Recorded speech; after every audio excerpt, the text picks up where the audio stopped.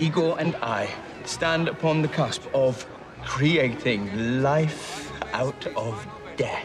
Mr. Frankenstein, Victor, Victor, please. I find your promise more than a little unsettling. Igor, speak up. What do you think? Everyday science and technology changes the way we live our lives. Well said, that man. Life and death are different. I dream of a world where hope replaces fear. A world where a murdered man can stand in court to face his murderer, where a crippled soldier, shrapnel in his spine, can be killed, healed, then brought back to life to walk again.